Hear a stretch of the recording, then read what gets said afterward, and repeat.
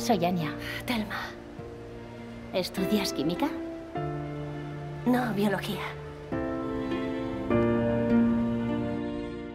¿Le cuentas todo a tu padre? Sí. ¿No debería? ¿Qué pasa, Telma? Nada, papá.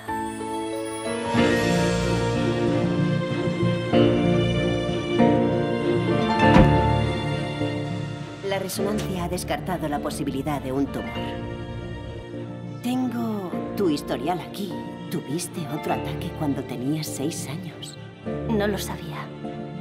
Mi padre es médico, así que siempre se encarga de todo.